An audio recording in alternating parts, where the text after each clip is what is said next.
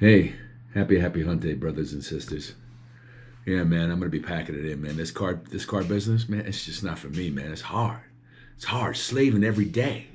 Trying to get people in here is not easy. Let me tell you something, man. And for some people, not for me.